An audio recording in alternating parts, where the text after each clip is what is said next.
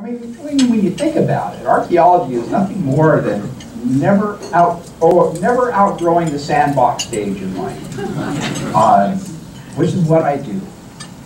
Uh, so each day I wake up at 4.30 in the morning. I usually FaceTime my wife because she's still at night here in Lincoln, and then we begin work. Uh, so it's a, it's a fun existence. Um, but it does take uh, pretty much every waking day of my life to make this happen.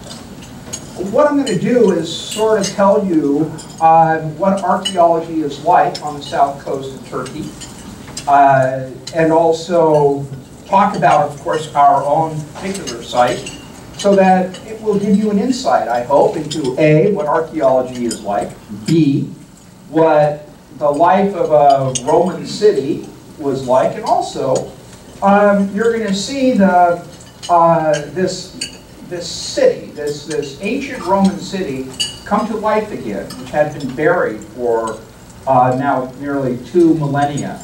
Now that we've begun working there, uh, this will be year 13 coming up. We're slowly peeling away the layers on, on this ancient city, and it's beginning to um, adjust. We're beginning to adjust our understanding of what this uh, this place, what this uh, uh, region of Turkey was like in antiquity. So let's uh, let's get the ball rolling. Looks like I have to get closer to the thing. There we go. All right just so that you could see where we are located on the map, I've circled the, the location of the site. Uh, we are just due north of Cyprus, and in fact, if it's a clear day, which it never is in the summer in Turkey, uh, you can see Cyprus from the site. Um, so it is in a, a rather strategic location, especially for maritime traffic that is cruising along the northern shores of the Mediterranean from the very uh, wealthy and whoops, wrong button. From the very wealthy uh, but older cultures of the Near East. Uh, also traffic coming up the, the coast of the Levant from Egypt.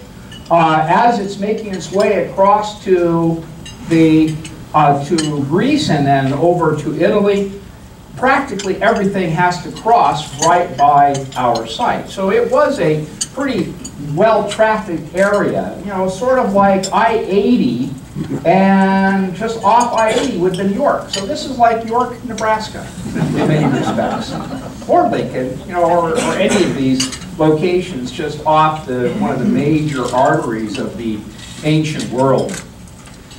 But unlike I-80, the maritime location, especially in the second century BC, at a time where the old cultures of the Greek world were breaking down, that they were no longer as strong um, as they had been previously, and the Roman Empire really hadn't made too many incursions yet into the eastern Mediterranean that meant that this area was kind of rife with pirates who could prey upon the shipping of this, um, of this corridor. And that's exactly what happened. And many of these pirates lived down in our region because it was extremely mountainous that they could run up into the hills and hide away from anybody who dared to go try to get them. Or uh, they could um, um, anchor their ships in these slipways, these, uh, these anchorages that were very well protected from detection. And so Cilicia became a very major haven for pirates, sort of synonymous with the pirates of the Caribbean. Even the term Cilician pirates uh, in antiquity was probably, uh, would conjure up a, um, a, a sense of, of evilness that today the pirates of the Caribbean do, although there probably wasn't a Johnny Depp character. Um, so here is what the landscape, or the seascape, I should say, looks like today. You can see the, the mountains come all the way down to the sea with these, uh, these rocks that, that jut out into the water, and here's that corridor. Cyprus is right over there. So a, a boat could hide very easily right here and then dart out and attack a ship as it's coming by. Uh, and in fact, I've been finding, as I was trying to do some research on the Cilician pirates, of course I, I found some. Uh, here's a collection of them in a museum in Britain. Well, and the Cilician pirates became so important that they even have a video game that I discovered about the Cilician pirates. Now, uh, we are kind of celebrating here the Ides of March, and I think most of you will remember that the Ides of March were important primarily because it is the date usually associated with the assassination of Julius Caesar at the hands of Brutus Cassius and the Roman Senate. Uh, and so so happens that Julius Caesar, when he was uh, 25, uh,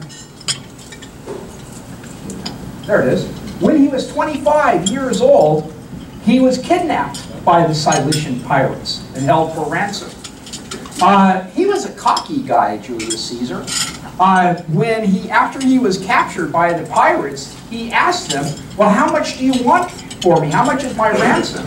And they told him how much it was, and he was outraged. That's way too low. You got to ask everybody for a lot more money. I'm worth a hell of a lot more. And they said, okay. So he wired, or he didn't wire his friends, he contacted his friends said, look, the Cilician pirates got me. You need to pony up all this money to get me out of pocket. Um, and so he, he, was very happy with the, with the pirates. He played games with them. And in fact, he pretended to be their leader on occasion during the, the time that he was with them, which was probably a couple months. So eventually he was released by the pirates because they, he, they, they were paid.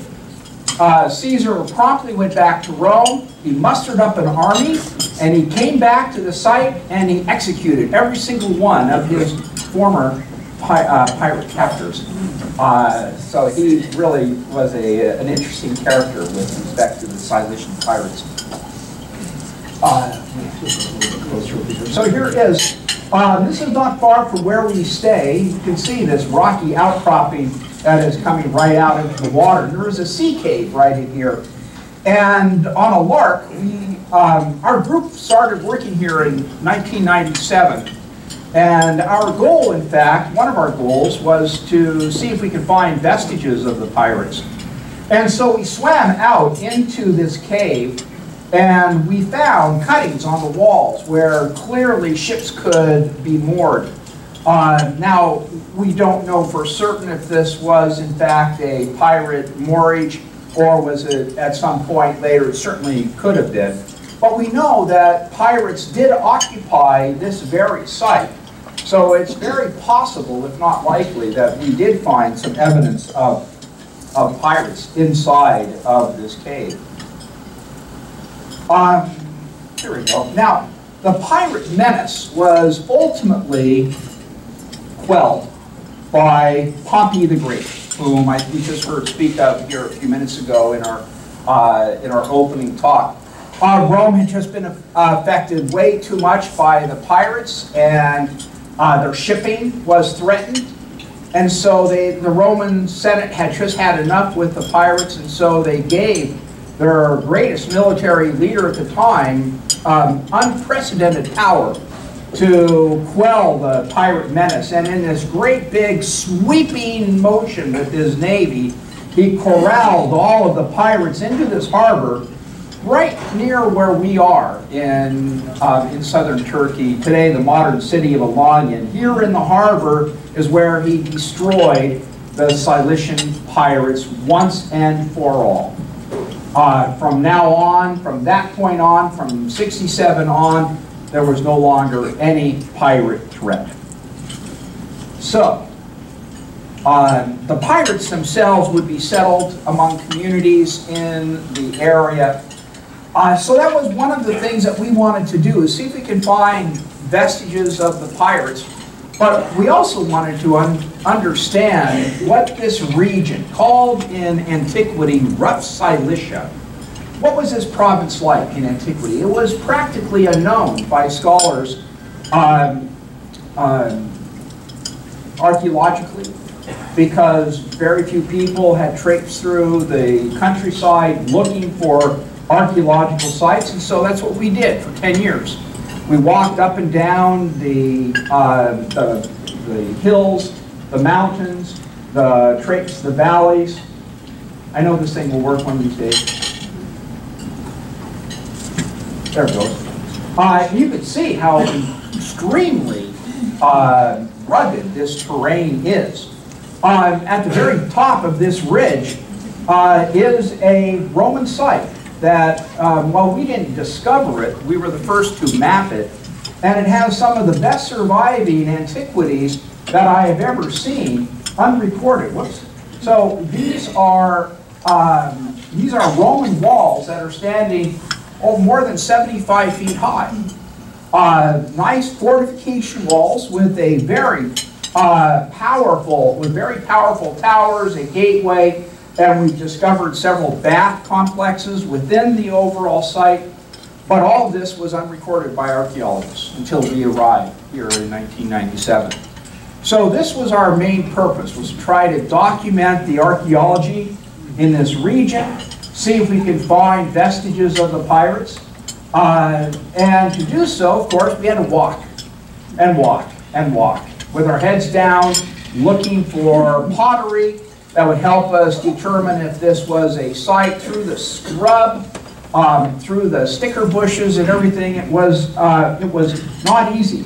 This is a, a pair of our pottery walkers looking for the uh, looking for sites and looking for pottery sherds on the, on the ground that might help us determine if there was a site close by. Uh, my team was the architecture team.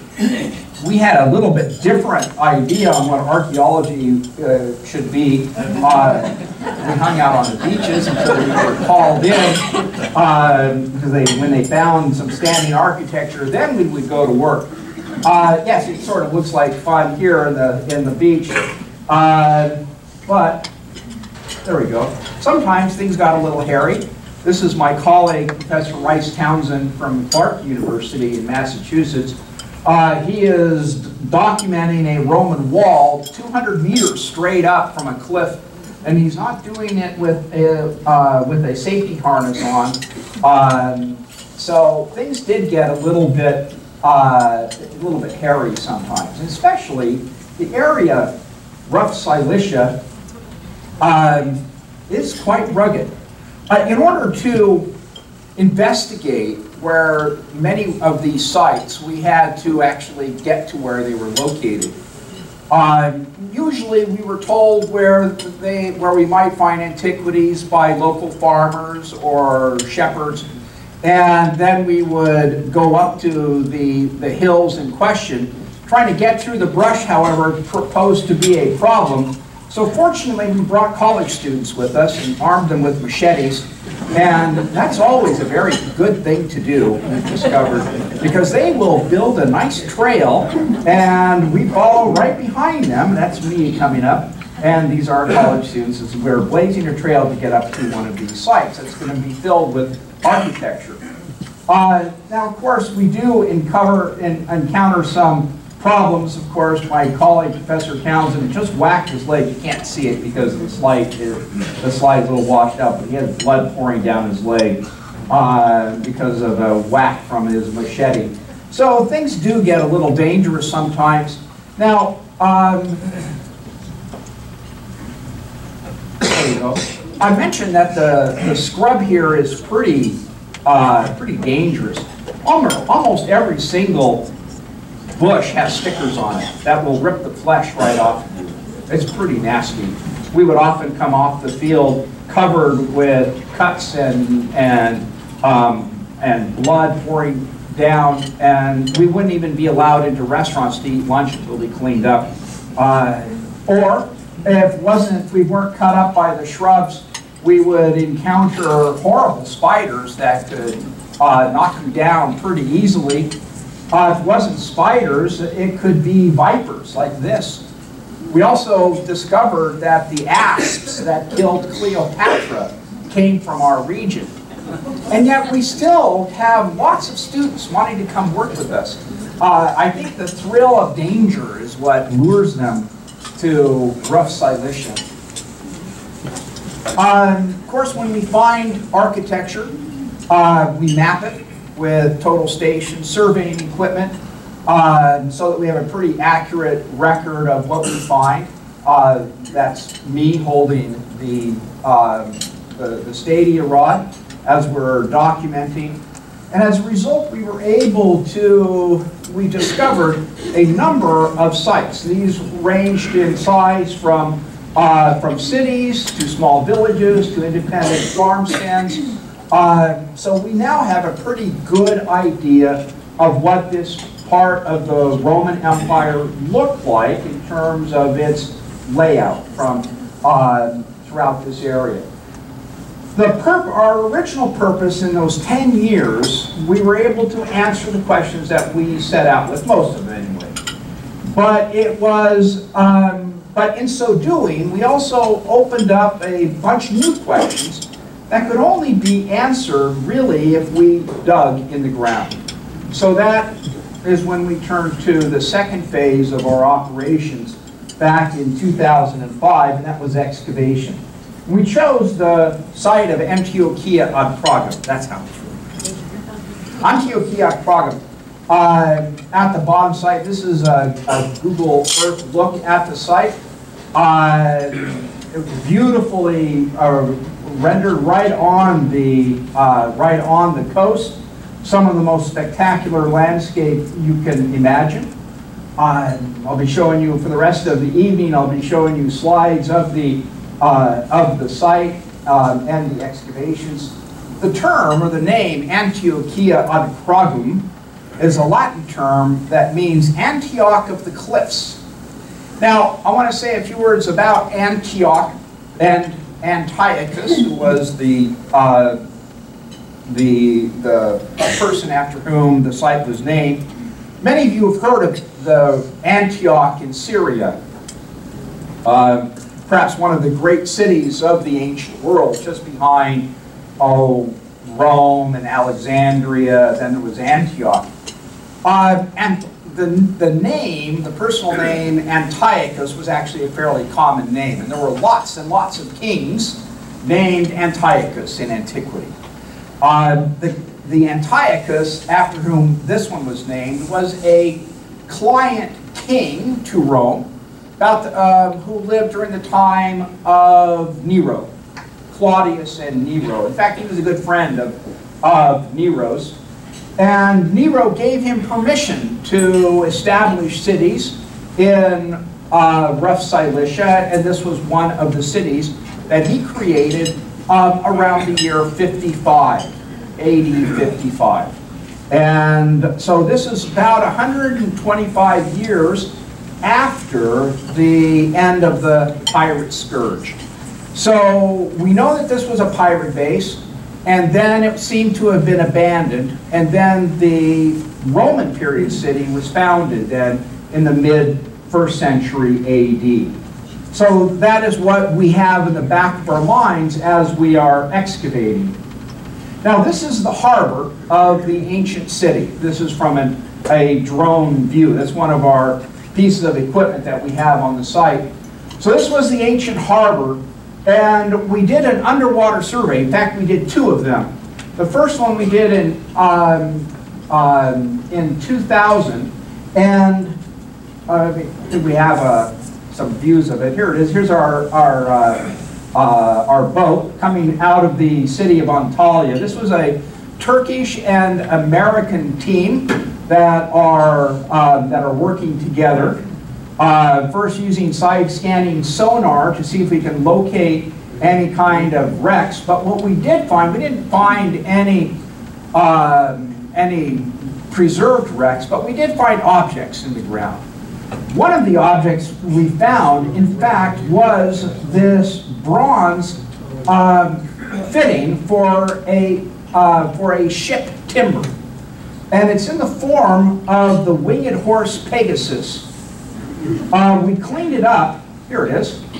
We cleaned it up, and we discovered in cleaning it up that it had still some wood inside of it. And we were able to carbon date the wood, and it turned out to be the second century BC. So we have our smoking gun. We have our first object that almost certainly belonged to the pirates.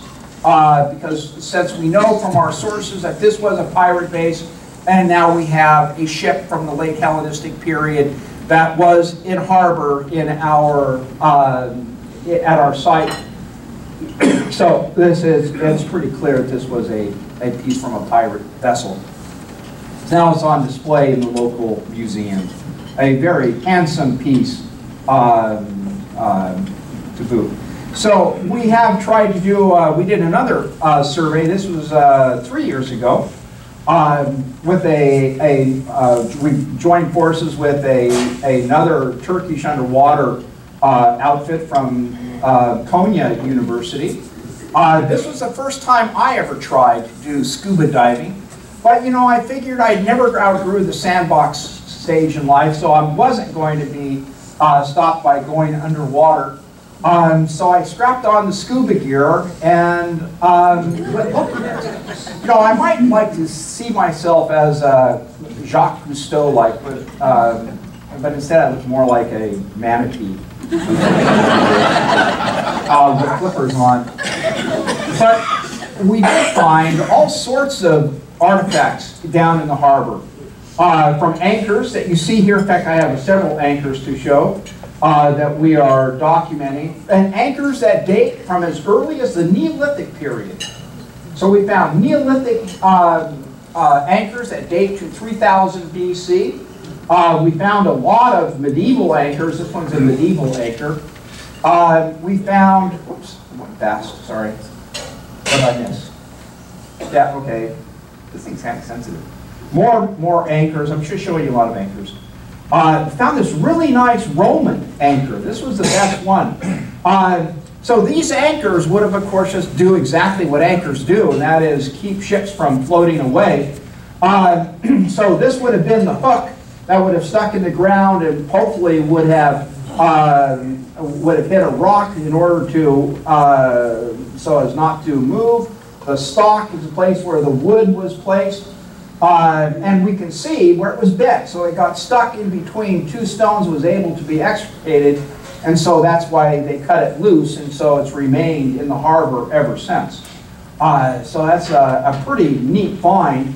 We didn't, when we excavated here, we did not have a permit to collect. We could only record. Uh, and so it still remains there. Um, hopefully the next time we mount an underwater uh, expedition will be able to collect them. We have recorded it where everything is, uh, and so that's our will be a goal for the um, the next time we go underwater. Uh, since then, this has become my hobby. I've now become got certified for uh, for scuba, and it's a it's a blast. Right. So um, I'm going to show you now what we have uh, uncovered over the uh, the years that we have been excavating. This is a view looking down over the site, and the very first thing you will, whoops, sorry. Uh, there we go. Okay, so the first thing we notice in the foreground is this mound. Um, that is the remains of a temple. Uh, when we came here in 2005, here's an overall view of the ancient site, and, and looking down into the uh, looking down into the uh, the site itself. This is our, the city center of the site, and so let's take a look first at the temple. Oh, forgot I forgot I have these images of our technology. We've We've uh, introduced the use of drones into our research. Uh, this is Ben Primer, uh, who is our drone pilot. He is uh, one of my former students, and he did uh, come excavate with us in 2007. And uh, when he then at, when he was at the university, uh, he became interested in drones, and he uh, then became a, quite adept at drone photography. And since then, he has uh, he has operated his own business out of Mumbai, India, uh, and he is one of the most sought after drone pilots, journalists in the world. Uh, but he always has an affinity for our site, so he comes and spends a week with us every summer, um, either coming from Mumbai or from Africa, where he goes on and documents safaris. Uh, and so the images that we have from his drone work is, are just stupendous, and we're so tickled to have him uh, with us every summer. Uh, right, so, uh, there we go. So here's the, uh, the operation of the drone. In fact, this is the very first day uh, that the drone was in operation in 2012. Uh, the gentleman sitting down is our Turkish representative. All, uh, all excavations, whether they be a foreign excavation or a Turkish excavation, must have a member of the Turkish uh, Ministry of Culture to you know, make sure that we're abiding by best practices uh, and also to act on our behalf in case um, we have a, a, maybe the police might or the army might harass us or something. They're there to make sure everything is, is okay. Just as we were about to let the drone fly, uh, I decided to ask our representative if he knew if there was any restrictions regarding drones uh, because you know here in the United States there's a great deal of uh, restrictions regarding drone use. And he says, yeah, you can't fly over over 30 meters. And by that time, our drone was like 200 meters up in the air. He said, oh, it doesn't matter. So, so he thought it was really cool anyway. So here is the, when we first arrived um, at Antiochia in 2005, we received, we had received a permit from the ministry to begin excavations here.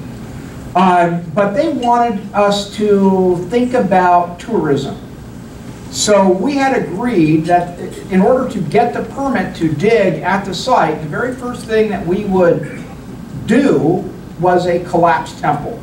Now this temple has always been known, um, but it had never been documented except by us. So that we wanted to, we, we were asked to do this first, and then we would have carte blanche to do whatever we wanted to do after that. So this is where we began in June of 2005. And back then, this was just a mound of fallen uh, architectural material covered with uh, thorn bushes.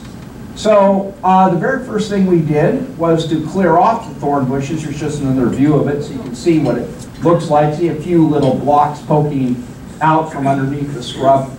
Uh, and then we cleared it off. Of course, it was done by, uh, by undergraduate students mainly. Uh, gave them machetes, you know, that's the drill. Of course, they were aided by herds of goats that would come by. You know, we thought, huh, they did a pretty good job, those goats. Um, so we thought, gee, should we have goats or should we have students? Uh, uh, the goats don't drink as much beer, uh, but they're not as much fun as the students, so we keep the we kept the students. Um, so we were able to completely uncover the temple from its uh, from its scrub, leaving behind this mound of fallen material and then um, we recorded everything, of course, by our total station. There it is. Um, using color codes to tell us what kind of, uh, what part of the temple the blocks belong to. Like blues, for example, were the column shafts, and uh, the yellows were the doorway, the orange may have been the frieze. And so that helps us understand how it fell when we tried, the idea is to put it back on paper again. And of course there was a pediment attached to it that had rolled down the hill. And the pediment helped tell us to whom this temple was dedicated. um, we knew from just looking at the style of the sculpture that it probably dated to the end of the second century, early third century AD. And the class of emperors, just go down and look at your displays downstairs, you'll see that at that time period was the Emperor Septimius Severus. And so um, the figure inside of this Clypeus, this sort of round uh, sculptural element, is the god Apollo. But we know that the family of Septimius Severus, for whom the dynasty, the Severan dynasty, uh, would come from, had a close affinity to the god Apollo. So this temple almost certainly is an imperial temple. In other words, it was involved with the worship of the Roman emperors. First Septimius, his son Caracalla, and the, uh, the rest of the family. Um, so part, after we had the blocks documented, we then had to move them off the mound. Uh, we enlisted a crane and had to teach the crane operator how to lift um, carefully marble blocks. He used to carry like um, sewer drains, you know, where he doesn't care all that much if he drops it. Uh, in this case, we were very concerned about any kind of accidents that might occur. And so for 650 blocks, we were able to remove it. And this was a, this was a long-term project. It took four years to complete, each one very carefully. Um, these marble blocks, each one weighing um, nearly a ton each. Uh, so it was a it was a long process to do. Um, and here's whoops, here's some of our engineers. And this was done by an architectural engineering team from UNL, who was, who still is, is in charge of the reconstruction um, program for the uh, for the temple, and just more views of the the of the temple in process. This is where we're moving the uh, the pediment.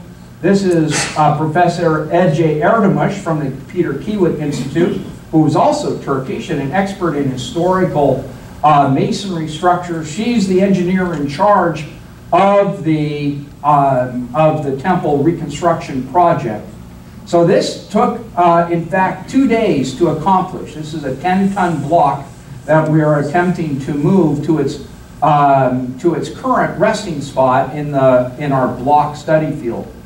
So this is what it looks like once we got all of the temple, all of the blocks removed off of the mound. Uh, and it was now available for, um, for study and for excavation. Right, I have to go over here to press the button. So this is what it looked like uh, before excavation. So we started then taking it down and we came across graves. Um, graves in a temple.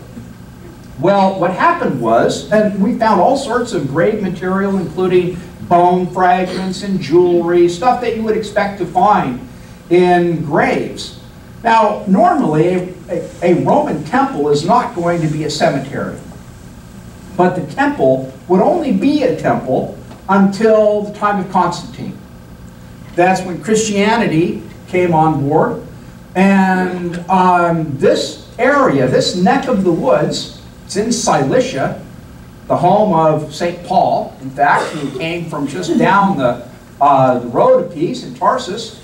Um, this became a, a hotbed of Christianity. Uh, there were several churches constructed here.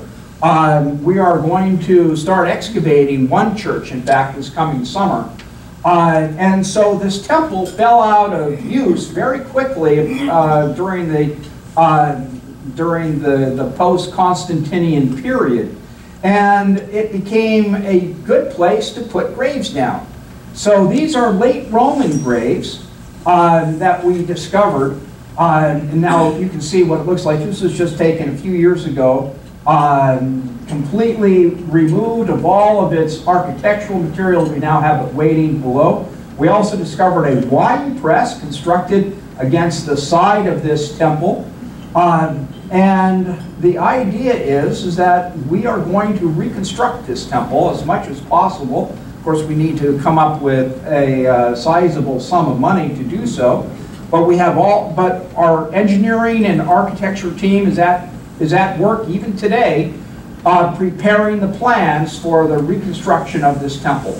We know where all the blocks originally were placed. And that's going to be the key part. So once we know where they were, it's just a matter of putting them back up. And the engineering team will be there this summer to assess the viability of putting a temple back up on that spot. So that's our, uh, that's our coming goal. Here's a, a view of the back of the temple. You can see some trenches that we dug in order to find the pottery that would help us date exactly the construction of the temple. And our pottery dates, in fact, did tell us this, this dates to the end of the second, early third century. So we were right. Uh, that's always nice to have verification of, um, of our original hypotheses. So uh, you can see on the back um, how handsome of a temple it was. Now I know it's going to take some imagination to try to put the temple back up to reclaim some of its glory. So that's what I'm going to have to ask you to do, to try to use your imagination to imagine what it was going to look like. Right. Now, show you a little bit something that is perhaps the most extraordinary thing that we found. Uh, this young college student uh, who comes from Purdue University uh, happened to be walking in this field near where we believe the, the center of the ancient city was located. Uh, we had just begun to uh, excavate up on top of the temple, and he noticed these, um, these furrows that the farmer had plowed. And he noticed that inside one of those furrows there were mosaic fragments coming up. Uh, and so he told us, and so we told the, our representative, of course, now this was before we had permission to excavate everywhere. Uh, so we did not have permission to come down here and excavate, but we were able to document that there was in fact a mosaic located at this spot. Um, and so we had done our due diligence, but two years later, uh, in uh, 2011, sorry, yeah, 2011, uh, we were able to start clearing. And so we hired our workmen and put them, uh, gave them the task, and they kept digging. And find, they found the mosaic directly just a few centimeters below the surface as we, because we, that's how we noticed it. And they kept clearing and clearing and clearing, and they cleared for two months. Uh, and we found the largest mosaic ever found on the south coast of Turkey. Uh, a fabulous, um, probably 4th century AD mosaic. Um, and this was just after one season, and we only found 40% of it. So uh, we have more to come.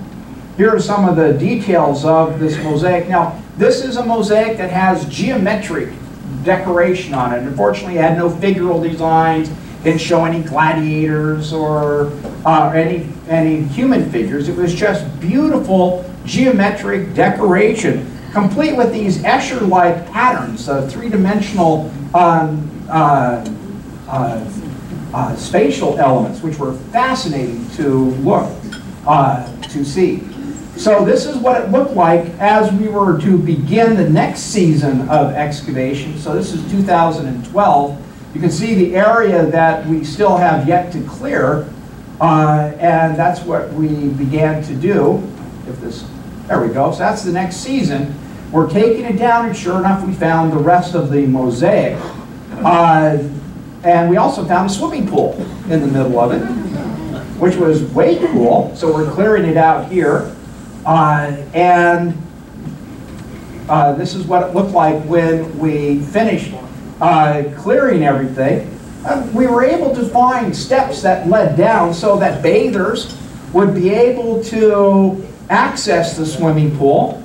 It was, you know, a swimming pool is probably a misnomer. It was really more of a wading pool or a sitting pool because we found a bench down at the bottom where they could, where bathers could just sit and relax and enjoy the cool water with fresh running water into it on a hot Turkish day when the temperatures are regularly close to 100 degrees in the normal summer months. So it would have been a very pleasant thing. Now, the rest of the mosaic would have been, uh, or the courtyard, which is what it is. Let me sort of go back a slide. So it would have been covered up with a colonnade so people would have been in the shade, but only in the area where the swimming pool was located would it have been um, in full sun. Now, we were able, see if the next slide comes up. There it comes, there's the step leading down. You can see that it had a nice floor of marble. It also had drains. So um, we, of course, are interested in drains. Of course, we're interested in technology. So this was the exit where the water was. There it is. That's where the exit where the water was. We have an, in, uh, an intake flow, a lead pipe, in fact, under here to allow water to um, flow into the, the pool. So it had constantly running fresh water. Uh, we uh, investigated the drain, because still the drain cover was completely intact. Uh, and that's me with my camera. And first thing we discovered, in fact, was graffiti carved on the side of the drain, Delta Iota Delta, uh, which sort of transliterates as did, like I did it. of course, that's not right, but sort of funny anyway. So this would have been carved there by the workman or repairman who was uh, fixing or repairing or making the drain. Fortunately, we had a whole bunch of height challenge students, uh, and so we put them down into the drain, gave them hard hats, and uh, they cleared out the drain, uh, which was very nice so we can see how the drain actually functioned and how it worked and the networks involved. We also found um, when, because this was a real drain that worked with, uh, by a sluice gate, that when they opened the sluice, coins came flowing out, flushed out from the, from the pool. And we also found, in fact, a piece of jewelry, a, a solid gold earring that would have cost, I'm sure, a pretty penny to the young girl or the girl who lost it, we assume. But all of those coins, here's a close-up view of this gold earring. So that means, you know, the fact they had coins with them as they went into the water meant they had some clothes on, obviously. Uh, a tunic or a chiton uh, toga of some sort. They had money in it, but they would lose it in the, in the water. And then when they drained the water every so often, that those coins came whooshing out into the drain, and we found two, over 200 points in the, uh, in the drain. We're still dating them, but the ones that, are, are that can be read all point to a uh, 4th century date, 4th century AD date, about the time of Constantine. So that would have been about the time of when this thing was, uh, was really finding its, uh, its chief action. Uh, so here's a drone view looking down into the courtyard where this was. Now, this would have been a place, it was walled off. You can see the walls quite nicely. Um, who would have been in here? Well, based on the decorational scheme, we, uh, we believe that this would have been for the, uh, the upper class of the, of the town. Uh, the people living in rough Cilicia, um, they were not Romans. I mean, these people are not ethnically Roman. They are ethnically Luvian. Luvian. Uh, and they have what we are able to understand a very distinct class society. So uh, this is probably meant for the higher class um, of, of uh, Antiochian Cragum society with a magnificently large bath complex that it was attached to. And that's what we are currently uh, engaged in clearing out. And we'll take a look at it. Here's a, another drone view. So here is the, uh, the bath or the courtyard complex and the bath attached to it. You can see it's only, only partly cleared out. Another courtyard out on the, on the north, on the south side with a, another temple complex that we discovered and a mosaic. So let's take a look at a couple of these things. Uh, here is that other temple with a mosaic inside of it, and you can see that it has a little bit different style of decoration, this time with um, floral decoration. There it is, with very nice floral decoration, pomegranate um, devices, and uh, and more um, garlands. So it's a very handsome mosaic. Uh, you may be wondering, what do we do with the mosaics? Um, well, we cover them up because we don't want any damage to occur with them until we can uh, erect a pavilion over them. So we place a layer of geotextile covered, uh, which we also cover then with river sand, so it doesn't have any salt on it. Uh, we in fact did that because we heard one of our workmen say that he can't wait to get his motorcycle on the mosaic. Uh, that just isn't going to work. So we put this deep layer of sand on it to protect it. Um, but eventually the idea will be that we will erect a tourist pavilion over the mosaic so it'll be available for, uh, for view. Um, so now we're excavating the bath, the great bath of the, um, of the city. Uh, Romans always bathed in a sort of a triad way. You go from cold to warm to hot. And then you can go back to the beginning and start over. You can spend hours inside of a bath complex. And baths were extremely popular among the Romans. Um, so, so popular, in fact, that the culture of bathing still exists in Turkey today. Uh, so you go, you go to Turkey in Istanbul, you'll see the hammam. Well, that's a carryover from the, uh, from the traditions left behind by the Roman period. So this is the great bath of, uh, of the city. And we started to work in this large, um, the large hallway that was the cold room. Now, this room itself is about the size of this room. And we're digging it with a shovel. So that's why it does take a while to dig. And when you get down to the bottom, when you get close to the mosaic down below, then you work with a trowel. So it does take a long time to, to clear out. This took a couple of years to do. When I say years, I mean two summers uh, working on it. Here's an aerial view looking down um, on this, uh, this area. And there is a mosaic down there. It's kind of hard to see, but you'll have to trust me. It's an Egyptian lotus design. Uh, again, no figures, unfortunately. But this is where we had just finished this about two years ago. We moved now into the warm room, the tepidarium. Here's uh, where we, this, this was taken this past summer. And you will note that in this back complex, we are finding, in fact, pottery kilns. There's a close-up view of it. Pottery kilns. Now, what are pottery kilns doing in a bath? Well, uh, the bath we've discovered dates to the time of foundation of the city. So this is one of the very first things that the people of the city built to celebrate the fact that they were an established Roman city. If we're going to be a Roman city, we've got to have a bath and a temple. So it was like the two major important things you got to do. So it functioned as a bath for a couple hundred years, but like anything, they're just going to break. And the heating systems broke down, and they, and there, you know, for a variety of reasons, the purpose of its being a bath ceased. Just like in Lincoln, you know, we have the area of the Haymarket that, of course, was old warehouses. Well, now they've been repurposed into restaurants and bars.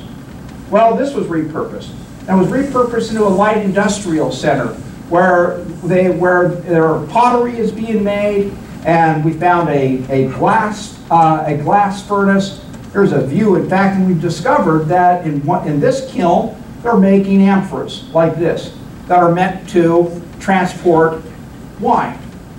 Uh, and sure enough, we have a wine press where they're making the wine. So now we're beginning to understand the economy of the site um, a lot more. So that's, uh, that's really exciting. Um, that's what it looks like. I took that slide, by the way, just uh, last month when I was uh, when I was at the site for another reason. I had to go to Turkey for a week. Uh, And we have it covered over so the rains won't affect it, um, which it probably almost certainly will. So we are going to be uh, working more in the warm room. It's going to take, we figure, another five years to clear out the entire bath because it's a huge building. Uh, One of the largest baths, in fact, on the south coast of Turkey. Now, uh, my colleague and I were looking over the bath to a, to a site that, um, sorry, I, I ruined the surprise. Um, Go back for a second. Um, This, as a Roman city in the Greek East, you would expect to find the place where laws are promulgated, where they're made, the city hall. And the city hall of these cities in the, in the Greek East were called bouleuteria, which is council houses. And bouleuteria would also, also serve as a place where music could be heard. So it's like a, an Odeon.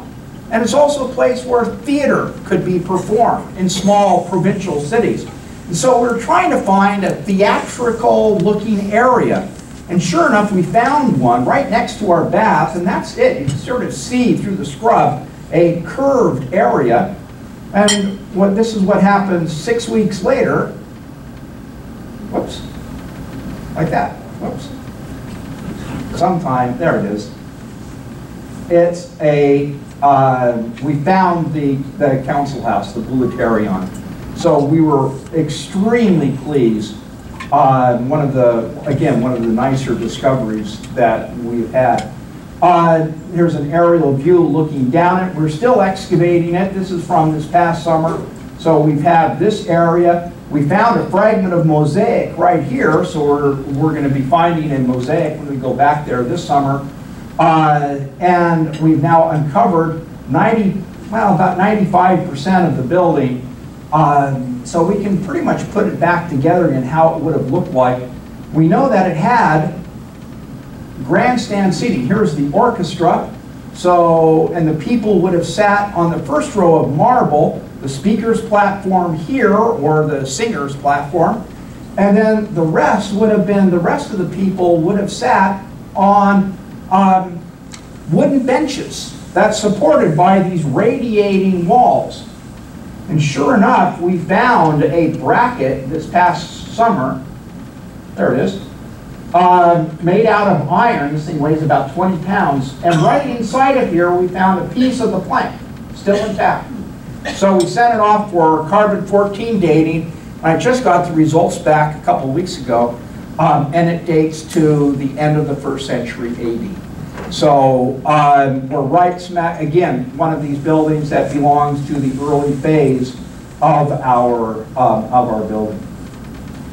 Uh, Another area of, of interest was a, the commercial area. This is the main gateway into the city. There was a street that ran down the middle. This was a beautiful avenue where, uh, where shops would have been placed. You can see, uh, here's the street itself. We dug a trench to see if we can see if it was paved or not. It wasn't. But we did find fragments of the colonnade and the shops would have been behind. So we excavated so far one shop or two shops. Here's where, where they are. Um, and you can see the shops here, the colonnade out in front. And uh, the columns had fallen directly in front of where they once stood. And so we thought this might be a good idea to re-erect the columns. Uh, and we, uh, we hired a, an artist to sculpt new bases, which the old bases were gone, the granite columns survived. And so we, uh, you can see the bases in process uh, to be made using marble we think that came from the, the exact quarry that the original bases came from, not too far away. And uh, it was a, a fascinating process this summer, or that summer, this was four years ago, uh, as we were um, getting them prepared and then the actual erection of the bases took a lot of student labor and our own workmen to put it up, make sure everything was neat and perfect. Uh, using our architectural engineer to help um, make sure that these things would stand permanently using fiberglass reinforcement rods. And then we began to erect them using our crane again. uh, And we put them back right smack on the exact same spot they once occupied. And um, the result is fabulous. We have two columns nicely standing in their original spot yet again. Uh, So we're very proud of that, uh, of this, of this accomplishment. Uh, And a reconstruction of what this colonnade might have looked like back in the day. Um, Finally, I just thought I'd bring this up. We also found, it was that same year, in fact, uh, four years ago, um, one of our Turkish student teams uh, found a beautiful carved head of the uh, mythological figure Medusa. And here she is in all of her glory. Uh, Medusa, the mythological figure whose snakes coming out, emanating from her head were so terrifying to view that it would turn any living thing into stone.